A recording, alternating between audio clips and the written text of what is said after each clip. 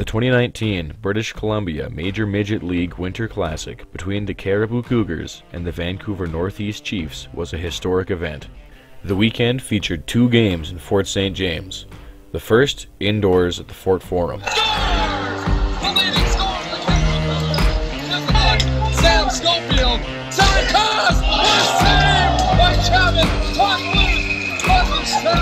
One historic match at the Ernie Sam Memorial Arena, the first outdoor midget game ever to be played in Canada.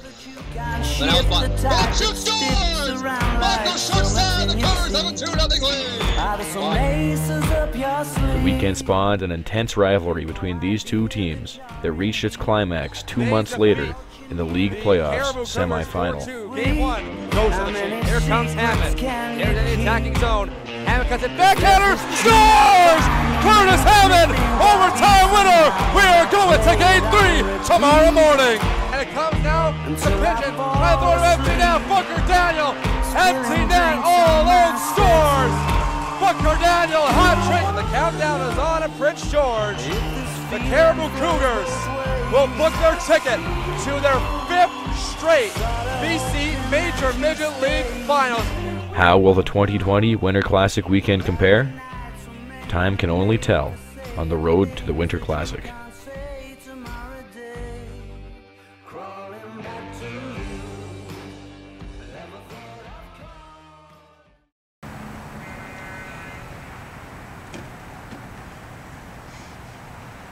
Our journey with the Cariboo Cougars begins with an afternoon practice led by assistant coach RJ Barra, four days before the Winter Classic game at Ernie Sam Memorial Arena against the Vancouver Northwest Hawks.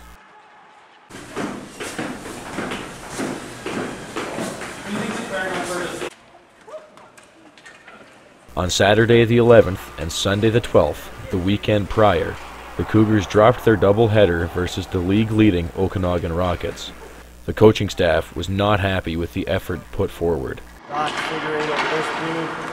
come in and shoot. Do I even need to say Yeah, I think it was a it was a disappointing weekend for us as a group. I think we expect more out of our group. Um, it just was just nothing was going our way, but we weren't uh, we weren't creating as much as we should. We weren't we weren't hard on our sticks. We weren't hard on battles, and I think we took a step back against a very good hockey team, best team in our league, and uh, they burned us.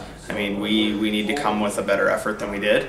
And uh, I think the guys are aware of that, that we uh, that we let an opportunity slip, and, and we have to learn from that moving forward so that we can uh, close out the season on a high note.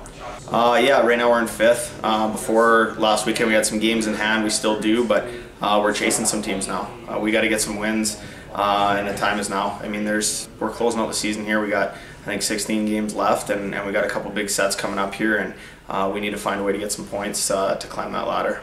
This practice was focused primarily on skating, and there was lots of it. Then, lines back and forth. One line for every goal against versus the Rockets. 12.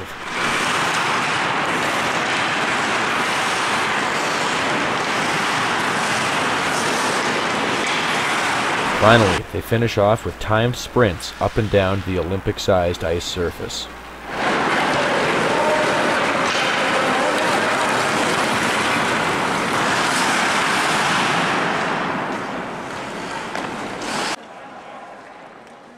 Following the practice, the exhausted team meets in the change room for a video session with assistant coaches RJ Barra and Jordan Duncan.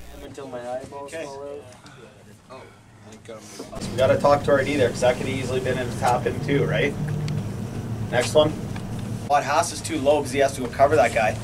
But uh, D and centerman, right? We need to play man on man there, right? We need to communicate there. We can't just be abandoning that guy in front. Haas does a good job bailing us out here, else that guy's going to bury in the slot. We want to play the right way, and that wasn't it. We got to get back to our game. Okay, we got to get back to doing what makes us a good hockey team. Okay, and it's going to start tomorrow. Tomorrow we're going to start the prep for the Hawks. Okay, we're going to start our prep for the smaller rinks. We're going to get to work at 6:30. Okay, everyone get up, shower, do whatever you need to do because I don't want to have the same first two drills we did last Wednesday and waste our time. Okay, I want to go into a couple drills and then get right away into what we want to do on the weekend. Is that good? We're all on the same page in here? Yeah. All right, we'll see you in the morning. Thanks, Austin. Hi, Brendan Bott here with Cariboo Cougars. Here with rookie forward, Team BC alumni, uh, fifth overall, fifth round draft pick to the Seattle Thunderbirds. Hi, Brennan Bott here with Cariboo Cougars. I am here with Team BC alumni, Seattle Thunderbirds signee, and sixth round draft pick, Nico Majatovic. Nico, how do you feel about playing in your first ever Winter Classic? Why is your face so red? Well, I'm excited. Um, looking forward to getting four points up there. You know, it's going to be a battle, but um, take 20. Nico here with Brennan Bott, um, voted 2020 sexiest man alive and one of the most famous people on the TikTok app. What are your thoughts on the upcoming Winter Classic? Oh, it's a great opportunity. We gotta get the four points, and you know what? To get that, we gotta get pucks in deep, getting getting the corners hard, right? I agree. Um, Start 15, everybody else have a good day. um, being your last year, your 17-year-old year, what are you gonna bring to the boys uh, throughout the weekend? Uh, just gotta be an energy guy out there. Cut this. Gotta be an energy guy out there, and you know what? I already said it. Get pucks deep and get in there. Awesome. And uh, why are you so sweaty? I was watching cops. Still yet to be a winner in the Winter Classic, so we're looking for the first W. Uh, last year, the ice started to like melt a little bit, and uh, they had to end the game after we couldn't play overtime. So uh, hopefully the weather holds out this year, and we get to finish it off.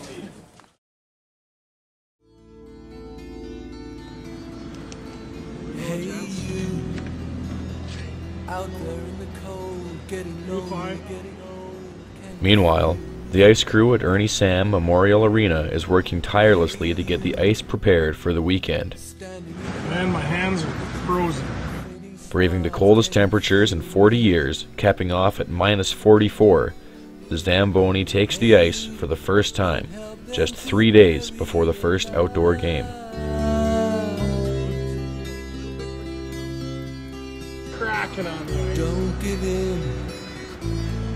Without a fight.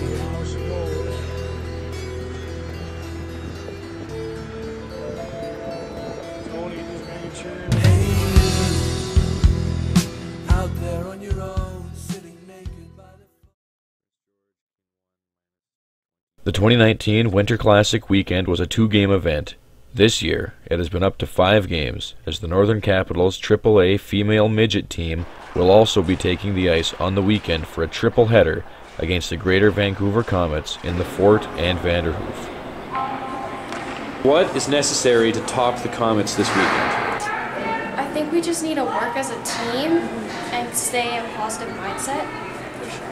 I feel like yeah, we have to work as a team, and we also have to like know where we're gonna go with the puck before we actually like pass it because it's a small ice surface. Yeah, it's important. Will the cold temperatures play a factor at all in the outdoor game? Um, I think we're prepared for it. I mean, we live up north already, so we gotta be used to it. yeah. I'm honestly gonna be really cold though. I'm gonna I'm gonna layer up. Yeah, And I'm for gonna sure. wear long sleeves and probably leggings under my gear. It's gonna be cold. Um, I think that there's really nothing that's going to change as far as a coaching philosophy goes and our systems. Um, I think the majority of it will be to uh, make sure the girls have fun, um, play as uh, you know our our systems. Um, the only big difference will be playing in a different rink, uh, especially the outdoor rink. So my whole team's excited about that and. Uh, uh, other than that, I think we're not going to change too much and stick to what we uh, what we practiced for the last while.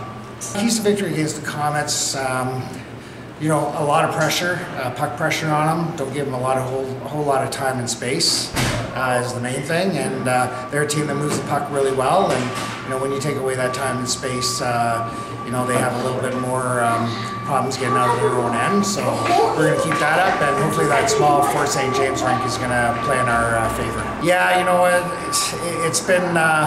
It's been out there for a while that this has been going on, so the girls are super excited to, uh, you know, head to Vanderhoof and uh, show uh, a crowd that they've never played against, or played for uh, what female hockey is all about. It's going to be exciting. We've got two great teams that are going to be there. Wrapping up the practice and prepared to host the first place Comets, the Capitals get ready to hit the road. The next time they will lace up, it will be in Vanderhoof for the first game of the Winter Classic weekend. At Ernie Sam Memorial Arena, the crew continues to work hard just a day before the Winter Classic is set to take place. Last year's warmer weather and deteriorating ice seems to be a distant memory as the team has worked through blistering cold all week long. This year's question is, will it warm up? And if not, how cold is too cold? Well, we've been here since Monday, so um, probably anywhere from 12 to 15 hours a day just to be able to put in ice. Um, you know, we had some some uh, good base that we had from the Cosley and their group uh, starting on the Monday. Uh, last year we started with two rinks here at the Sam Memorial and over at the Fort Forum we had no ice when we started on the Monday uh, last year, so we were further ahead in both rinks. Uh, we had some alumni dads here, uh, Mike Goodwin, Mr. Allen, Steve Allen, um, Vinny McKinnon from the council was out here. Those three guys were outstanding. Dennis Hartchuck. Uh, so those four to five people, including myself, out here every single night. And uh, we had some great help from the ladies in, in our office, um, the band office, giving us a hand every day just to help us get the dressing rooms done. They had their uh, contracting crew there dealing with that, the Zamboni room. Uh, mainline plumbing and heating, uh, putting in uh, putting in uh, the Navien uh, heat on demand, so that was really good to have that. Our hands weren't getting too cold. Yeah, we had uh, a little hollow ice here to my right, and what happened there was just got air underneath the ice between the ice and the pad. So Mike Goodwin, the genius that he was, we were seeing that the Zamboni was kind of sinking into the ice a bit in the one spot and cracking more than what you do with normal ice or natural ice. So we ended up taking a drill bit and drilling down about the size of a loonie and then just pouring hot water right directly onto the pad and having it spread out underneath and it worked out. Hardened up over uh, Thursday night and we're good to go. So we're pretty happy about that. First, of course, being a cement pad, we have to get it all cleaned. It have to be spotless clean before you even can lay any water down, because you don't want uh, you don't want nothing dirty, no oil, nothing on there. So that took uh, quite a process. And, um, with weather, depending on weather conditions, uh, we were working when it was minus five, minus 10, which was awesome conditions to put in ice, but all of a sudden it got to like minus 30 with wind blowing and which had made it very, very hard.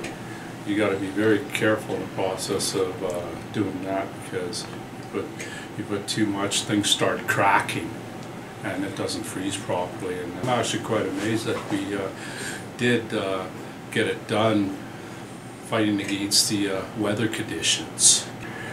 Wow. Um, I wasn't I wasn't there for the whole process, but I guarantee you. Uh, let me see. I would say an average of 10, 12 hours a day. Um, say it took them seven to eight days, probably uh, 56, 60 hours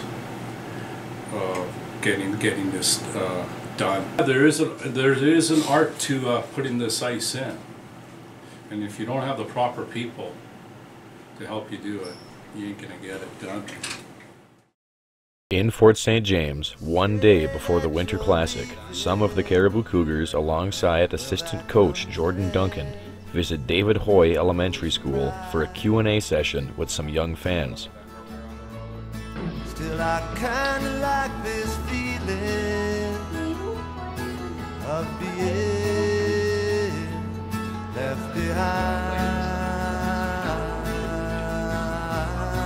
Meanwhile, in Vanderhoof, the Northern Capitals do the same at Evelyn Dickson Elementary School.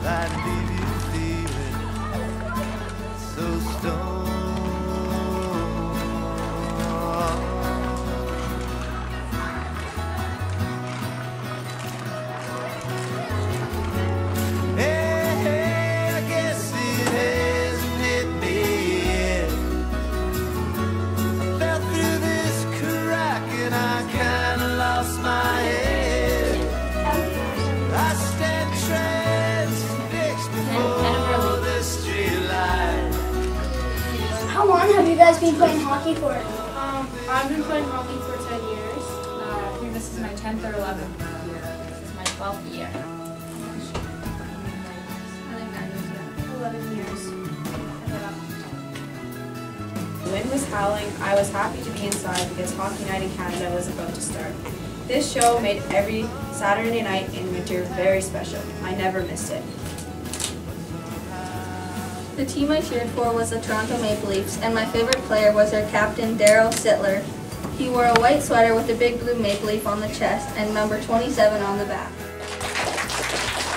Once the school visits reach their conclusion, the Capitals head back to the hotel for food and rest, just hours before puck drop at the Vanderhoof Municipal Arena.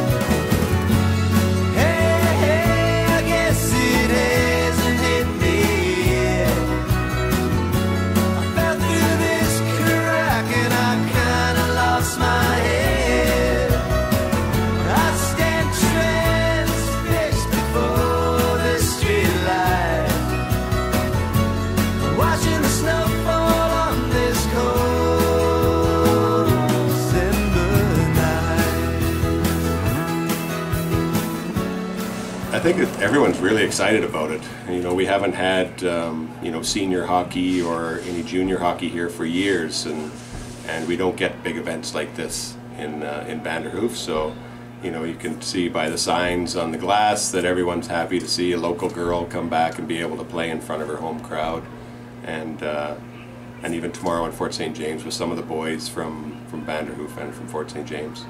I think it was it was mostly Trevor Sprague that uh, approached us and wanted to do a winter a winter classic style of uh, um, event that uh, showcased some of the, the local local girls. We have one local girl on the uh, on the female team, and then I think there's there's three boys on the uh, on the male team that'll be playing playing the Fort St. James tomorrow. With puck drop under an hour away and the arena starting to fill up, the Winter Classic weekend is about to officially begin.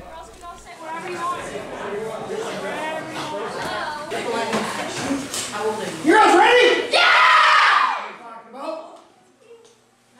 Girls, let's make sure we have a lot of fun. Special weekend. We're gonna play our butts off, right? Yeah! What? Yeah! All right. Let's make sure we keep it simple, right? Let's start them up. Starting in at number 30, Tessa! At center, number seven, Penny Jono! On right wing, number eight, Brett Curry! On left wing, number 14, Ocean Anderson! And then we have defense, number 17, Brooke Morgan! And then number 18, Keegan Goose! Come on, ladies, let's have some fun. Have a good warm up, and we go out. Well, hello and welcome to the Vanderhoof Municipal Arena in Vanderhoof, BC, as we kick off the BC Winter Classic weekend between the Northern Capitals and the Greater Vancouver Comets. Brendan Pawliw alongside Will Peters as we get, ser- get set for game number one of this triple header between the Comets and the Capitals. The Comets coming into tonight, like you said, first place in the Female Midget League, 16 1 0 and 0 with 24 points. Again, one loss in 17 games, sitting in first place. The Northern Capitals coming into tonight in third, 10 7 2 0 with 22 points. The Northern Capitals are confident that they can stay in it with this Comets team. And we're off and running in BC Winter Classic weekend from Vanderhoof as we drop the opening puck.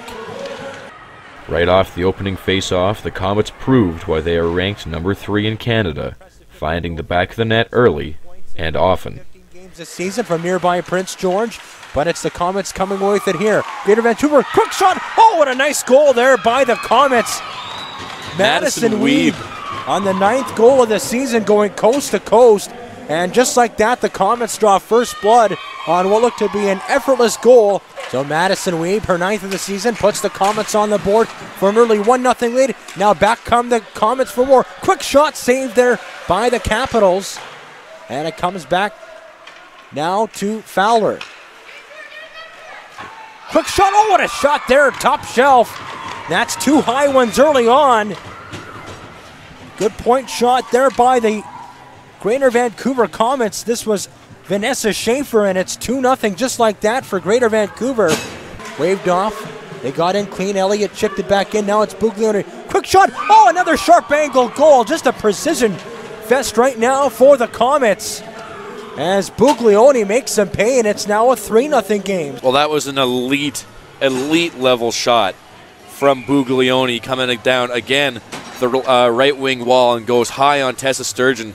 Yeah, so now we got a goaltending change for the Capitals. And in the other net, Haley McLeod coming into tonight's game with a record of 8 0 0 with a 0.88 goals against average. Yes, goals against average, not save percentage. 0.88, an average of under a goal a game. Well, that sounds about right when you give up less than a goal per game and they score another one. Do the Comets as Grace Elliott right on the doorstep gets it past Petitclerc Crosby. And the engine is rolling at full speed for Greater Vancouver as it's now a 4 0 lead. She was looking for Anderson, nobody home. Now Curley gets it back, one on one. Nice little move. Brett Curley in, quick shot. Oh, what a stop there. First real test of the game for Verbeek.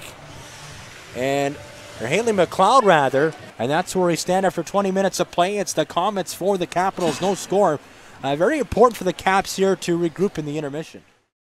After a strong opening frame for the Comets, the Capitals start to find their legs in the second period, but not before more offense from Greater Vancouver. Welcome back to second period action from the Vanderhoof Municipal Arena. 4 0 Greater Vancouver Comets heading into the middle frame.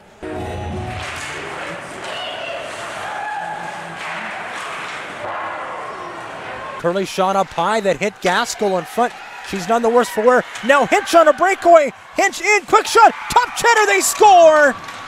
So you give the Comets an inch, they'll take a mile, and all you have to do is call up on Hitch to get the job done. She does exactly that. Chip to the line, not out. Good keeping though by the Capitals. As Curley continues to dig away. Chip by Goulet looking for a partial break. Spinning and shooting to the legs. They score. It's Goulet. Then I think Boone got a piece of it as well. Either way, the Capitals are on the board. Mulder will stop it back in, but not before the Capitals are forced to tag up. Now it's a three on one for the Comets. Back to Schaefer, waiting, puts it up. Oh, cross ice feed. Oh, and a stop there by Petitclerc Crosby as they rob the Comets, and back down the ice we go. It's a two on one for the Capitals. Alexander with Bautista. Lead feed pass. Oh, it just goes off the blade. Maybe that was a little bit high. Waits doesn't shoot. Curley gets it back one more time. Shoots again. Sharp angle. Hit the goalpost. Rebound in front. Mulder. Oh, the goaltender is down. They couldn't jam it free.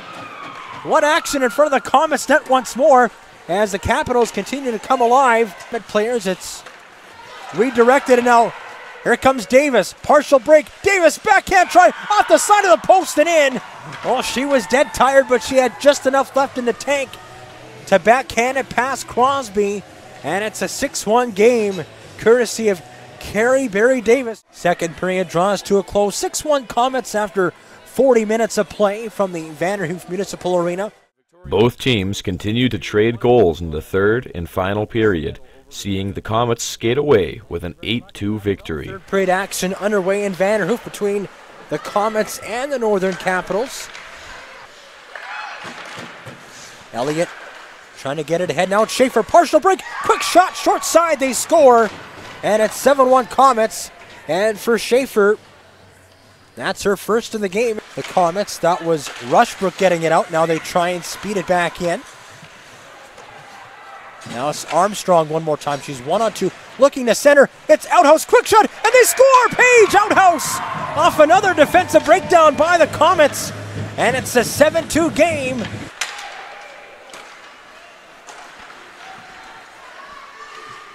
Quick shot, sharp angle, top shelf goal. Swiderski, she's been all over the puck this period, and she makes it an 8 2 game. Stymied there by Sketcher. Elliott, maybe one last chance for a shot. Three on one here. Elliott back to Buglione. Oh, it goes underneath their blade, and that'll do it. So the Greater Vancouver Comets flex their offensive muscles here in Vanderhoof on a Friday night, skating to an 8 2 victory over the Northern Capitals. Once again, these two teams will rematch just 45 minutes north in Fort St. James. In the Fort Forum at 2 p.m., you can find us back The lone Vanderhoof local, Ella Boone for the Capitals, gave her thoughts post game. Um, it could have been better, but I think we did play hard, and yeah, the score didn't really show how we played. I thought we had a good game. What was it like uh, in your return to your hometown Vanderhoof playing in front of this uh, big crowd? Um, it was a little nerve wracking at first, but um, in the end, I really enjoyed it, and it was yeah one of the coolest things I think I've ever done. With the first game of the Winter Classic weekend in the books, both teams gear up for an eventful Saturday and Sunday of hockey and history. Next time on the road to the Winter Classic.